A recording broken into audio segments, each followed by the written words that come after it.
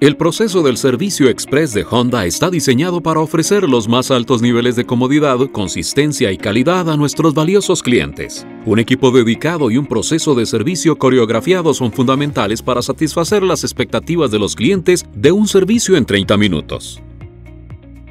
Este video es un resumen del servicio express que permite ahorrar tiempo desde que el cliente estaciona en el carril de servicio hasta que se le devuelve el vehículo. Este proceso es el resultado de años de análisis meticuloso y refinamiento. El equipo incluye tres miembros principales expertos en atención al cliente, el asesor de servicio y dos técnicos, los técnicos A y B, que mueven el vehículo a través de la ventana de servicio de 30 minutos. En este video los técnicos realizarán un servicio de recordatorio de mantenimiento B1-2 que incluye cambio de aceite y filtro, rotación de los neumáticos y el reemplazo de los filtros de aire de la cabina y del motor. El asesor recibe al cliente mientras entra en el carril de servicio.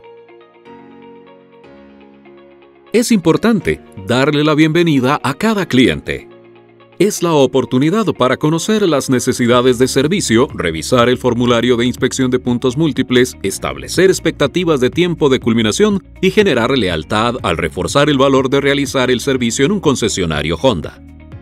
El asesor invita al cliente a dar un paseo alrededor del vehículo, registra el kilometraje actual y los códigos del recordatorio de mantenimiento, toma nota de cualquier daño y solicita la llave del bloqueo del volante si es necesario. Este Civic tiene accesorios Honda originales, pero no siempre sucede. El recorrido es la oportunidad para sugerir la compra de accesorios Honda originales según sea necesario. Después de recopilar la información de contacto del cliente, incluido el método de contacto preferido, el asesor comprueba si hay campañas abiertas e inicia la orden de reparación. Si existiera una campaña abierta debe mencionarse durante la visita. En caso de rechazarse, documentarlo en la orden de reparación junto con la firma del cliente. Las necesidades de servicios fuera del servicio express serán dirigidas al taller principal. Si el lavado y aspirado son una opción, el asesor lo incluirá al establecer las expectativas de tiempo de culminación.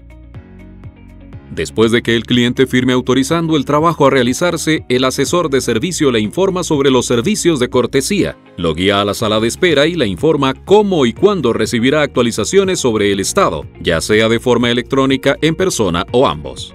Una vez que el identificador del servicio y se coloca en las cubiertas de protección del asiento y las alfombras, este se mueve al puesto de trabajo del servicio express o a un área de preparación dedicada. Si se utiliza un formulario impreso de inspección de puntos múltiples, este permanece en el vehículo. Luego, el técnico A recupera el vehículo y comienza el proceso ahorrador de tiempo. Abre las ventanas, apaga el sistema de audio de ser necesario, comprueba el funcionamiento de la bocina y luego el funcionamiento de limpia parabrisas, mientras que el técnico B prepara el puesto de trabajo para el servicio. El parabrisas también se revisa en busca de grietas y virutas que pudiesen no ser visibles. Luego se inspeccionan los brazos y las escobillas de limpia parabrisas. En los vehículos de transmisión manual también se revisa el funcionamiento del embrague. A medida que el vehículo llega al puesto de trabajo, el técnico B ayuda a guiar el vehículo en la plataforma y luego agrega las cajas de elevación que sean necesarias. Una parte clave del proceso coreografiado es que los técnicos continúan comunicando las condiciones mientras trabajan. Antes de salir del vehículo, el técnico técnico A suelta el capó y busca cualquier luz indicadora de advertencias del sistema. Luego, revisa la iluminación del panel de instrumentos y por medio de espejos reflectantes comprueba las luces bajas y altas de los faros principales, las señales de giro delanteras, las luces marcadoras delanteras y las luces antiniebla. Luego, las luces traseras, las luces de giro traseras, las luces marcadoras traseras y la luz de la matrícula, así como las luces de freno y las luces de reversa. Pone el vehículo en punto muerto y toma nota de cualquier problema en la inspección de puntos múltiples. El técnico A vuelve entonces su atención a la comprobación de la iluminación interior y activa el freno de estacionamiento para verificar su funcionamiento. Luego lo desactiva para permitir la inspección de los neumáticos. A medida que el técnico A trabaja, el técnico B añade las cubiertas de los guardabarros para proteger el vehículo. A continuación retira cualquier cubierta de la batería e inspecciona ambos terminales de la batería en busca de corrosión y luego conecta el probador de la batería para realizarle una prueba. A medida que el probador de baterías realiza su análisis y valida sus impresiones, comprueba el nivel del depósito del refrigerante y luego carga el líquido del lavaparabrisas. Luego el técnico B comprueba el nivel de los líquidos restantes incluyendo de servodirección de freno, de embrague y el de transmisión e inspecciona las correas y mangueras. La aplicación y la inspección varían según el modelo. Si el nivel de líquido de frenos es bajo, se deben inspeccionar los frenos para ver si hay desgaste, pero el líquido de frenos no debe completarse. Si el nivel de otros líquidos está bajo, se debe prestar especial atención a posibles fugas debajo del vehículo. Cuando los resultados de la prueba de batería están completos, el técnico B lo incluye con la inspección de puntos múltiples. Luego reemplaza el filtro de aire del motor. Luego retira la tapa de llenado de aceite y la coloca en el capó para evitar que el vehículo se vaya sin el reemplazo de la tapa de aceite. A medida que el técnico A sale del vehículo, toma nota en la inspección de puntos múltiples de la configuración de presión de los neumáticos que se encuentra en la puerta del conductor. Luego, se dirige a la parte trasera del vehículo para revisar si hay desgaste y daños en el neumático de repuesto y ajusta la presión del aire si es necesario. Como una de sus últimas tareas en esta primera fase del proceso, el técnico A sustituye el filtro de aire de la cabina. Con las inspecciones del interior y debajo del capó completas, ahora es el momento de levantar el vehículo. Después de que lo autorice el técnico A, el técnico B eleva el vehículo de modo que los neumáticos estén aproximadamente a la altura del pecho. El técnico A registra todos los resultados de inspección hasta ahora en la inspección de puntos múltiples. El técnico B revisa los neumáticos del lado del conductor, mientras que el técnico A los del lado del pasajero.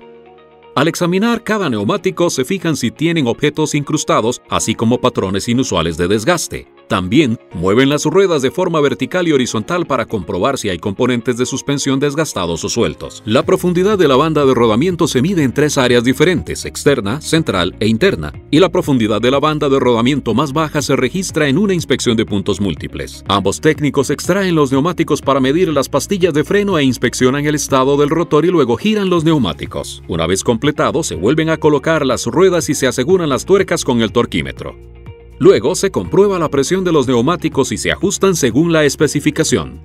Con las inspecciones de neumáticos y frenos completadas es hora de levantar completamente el vehículo y comenzar la tercera fase del proceso. Después de que lo autorice el técnico A, el técnico B eleva el vehículo y el técnico A registra estos resultados de inspección adicionales en la inspección de puntos múltiples. Mientras el técnico B quita la cubierta inferior del motor, el técnico A completa la inspección debajo del vehículo, desde la parte trasera hacia la parte delantera del vehículo. Inspecciona los siguientes componentes en busca de daños, desgaste o fugas. Silenciadores y escape, eje de transmisión, cubiertas y bandas CB, traseros y delanteros, amortiguadores y suspensión relacionada, uniones universales, si corresponde, y componentes de la dirección. También revisa las líneas de freno, mangueras y el sistema de frenos de estacionamiento mientras observa si hay fugas de fluidos. El técnico B inserta el protector antisalpicaduras de aceite si es necesario y drena el aceite del motor y retira el filtro de aceite. Mientras el aceite está drenando, observa si hay fugas de fluidos. Al instalar el tapón de drenaje utiliza una arandela nueva de ajuste. Antes de reemplazar el filtro de aceite se asegura de que la carcasa anterior se haya caído. El técnico B aprieta ambos a la especificación. A medida que el técnico B trabaja y después de asegurarse de que la inspección de puntos múltiples esté actualizada y completa, el técnico A entrega la inspección de puntos múltiples completada al asesor de servicio junto con los resultados de la prueba de batería. Es importante entregar los resultados al asesor de servicio inmediatamente después de que se complete la inspección. Los clientes parecen más receptivos a la aprobación de servicios adicionales necesarios si se les presentan al principio del proceso en vez de al final. Aquí el técnico A entregó los resultados de la inspección en aproximadamente 8 minutos. Apenas la inspección de puntos múltiples esté lista, el asesor de servicio debe revisarla junto con el cliente. Informar los resultados de inspección rápidamente es importante, tanto si el vehículo necesita o no algún trabajo adicional, ya que refuerza el valor del servicio del concesionario Honda. El asesor de servicio informa los resultados comenzando con los elementos en verde y luego pasa a los elementos amarillos y rojos si los hubiera. Si se requiere trabajo adicional, el asesor de servicio actualizará el tiempo de culminación prometido. Incluso si no hubieran servicios adicionales a realizar durante la visita, reconfirmar el tiempo de culminación prometido muestra que le importa el tiempo de su cliente. En este punto del proceso, la facturación y la cobranza se pueden completar antes de que los técnicos terminen el servicio. El asesor de servicio dirige al cliente al cajero o se encarga él mismo del proceso de pago e informa a los técnicos sobre la decisión del cliente sobre cualquier trabajo adicional necesario. Volviendo al área de servicio, se baja el vehículo. El técnico A limpia los puntos de apoyo del lado del conductor y luego utiliza el torquímetro para apretar las tuercas en todas las ruedas, al trabajar alrededor del vehículo en sentido contrario a las agujas del reloj. Al finalizar, limpia los puntos de apoyo del vehículo del lado del pasajero. Ingresa al vehículo para calibrar el sistema de control de la presión de los neumáticos si es necesario y restablece el recordatorio de mantenimiento. Durante ese tiempo el técnico B reemplaza el aceite del motor y la tapa del aceite. Al finalizar le indica al técnico A que el motor está listo para arrancar. El técnico A enciende el vehículo, espera hasta que la luz de presión de aceite se apague y luego apaga el motor. Cuando el motor esté apagado, el técnico B tira de la varilla medidora, la limpia y vuelve a introducirla para verificar que el nivel de aceite sea correcto. Después de volver a colocar la varilla medidora, comprueba que todas las tapas y cubiertas estén en su lugar. Retira las cubiertas de los guardabarros, limpia cualquier derrame de fluido o aceite y cierra el capó. Los servicios adicionales, tales como el reemplazo de las escobillas de limpia parabrisas o bombillos, se harían en este momento. El técnico A pregunta si el vehículo está listo para salir y el técnico B confirma o no. Si se incluye el lavado y aspirado, el vehículo se conduce al lavadero de autos. De lo contrario, el vehículo se dirige a la zona de entrega y se notifica al asesor de servicio que el servicio del vehículo está completo. En el área de entrega, el asesor de servicio revisa los servicios que se completaron con la cliente. La escolta al vehículo y le agradece por acercar el vehículo para el servicio. También le recuerda sobre la posibilidad de recibir una encuesta sobre la visita. El asesor de servicio se asegura de que todos los materiales de protección interior se hayan retirado junto con cualquier identificador de servicio. Este proceso del servicio express de Honda está diseñado para ofrecer los más altos niveles de comodidad, consistencia y calidad a nuestros valiosos clientes. Un equipo dedicado y un proceso de servicio coreografiado son fundamentales para satisfacer las expectativas de los clientes de un servicio en 30 minutos. Cada minuto de una ejecución perfectamente coreografiada contribuye a un resultado exitoso. Pero esto no sucede sin esfuerzo, requiere de trabajo en equipo y consistencia. Un proceso bien coreografiado produce un flujo de trabajo sin problemas, ininterrumpido y confiable. Ayuda a crear confianza en sus capacidades como negocio y finalmente genera más tráfico en su concesionario.